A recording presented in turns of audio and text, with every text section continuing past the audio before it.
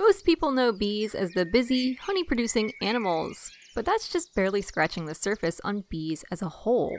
Bees are sometimes referred to as vegetarian wasps. They're classified in the same order as wasps, but they form their own group in which all bees are classified. This is called a clade. A clade is a group of animals in which all known species of that group can be traced back to a single ancestor. And the clade name for bees translates to flower loving, which is pretty dang apt, even though some bees aren't actually vegetarian.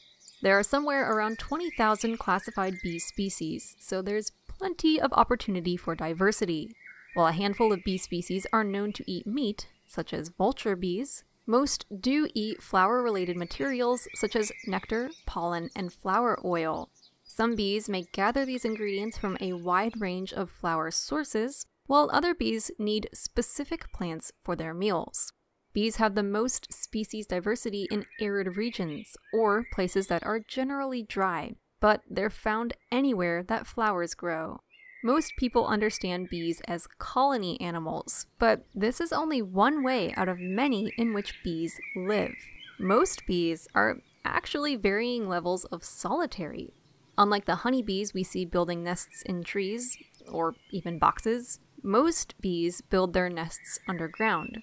There are strictly solitary bees who gather their own food, lay their own eggs, provide for those eggs on their own, and leave those eggs to fend for themselves. There are also some bees who will hang around and protect their young. Then there are bees who may form small groups which share a nest, but then have individual branching egg chambers which the females provide for separately. Then again, there are other bees who form small groups and may divide labor between reproducers and food gatherers. Then, of course, there are eusocial bees like honeybees with different levels of working classes, but there are also socially parasitic bees, in which an individual lady will take over a colony by killing the queen and then making the workers raise her offspring. A great example of this are bumblebees. There are other forms of parasitic bees too, like cuckoo bees, who lay their eggs in the egg chambers of other bees, meaning their young will grow, while the original babies perish.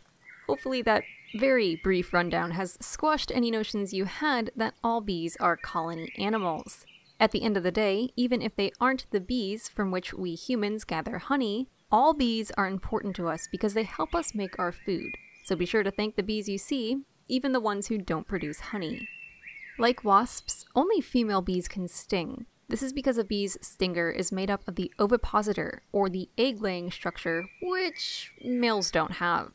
Honeybees are only able to sting once, as their stingers are barbed and become lodged in the flesh of a victim. But other bee species are able to sting multiple times. Bees undergo complete metamorphosis, beginning life as eggs and then transitioning to the larva, pupa, and adult stages. Many bee species overwinter in their final larva stage. These bees may spend years underground waiting for the best conditions outside for reproducing. Other bees overwinter as adults and emerge in the spring to mate. Male bees are smaller than females and typically shorter lived, though a bee's lifespan can be determined by factors such as season, their position in the colony, and more. Queen bees, for example, can live six years, while workers may live three to six weeks in the summer to four months in the winter. In one season, in places where flowers are abundant and stick around for a while, there can be multiple bee generations. But in colder areas, there may just be a single brood. Generally, bees are known as fuzzy, black and yellow, striped flying insects. However, they come in many more shapes and colors. Some are entirely black, some are green, some have red bands, and some can even be electric blue. For more facts on bees, check out the links in the description. Give a thumbs up if you learned something new today, and thank you for watching Animal Fact Files.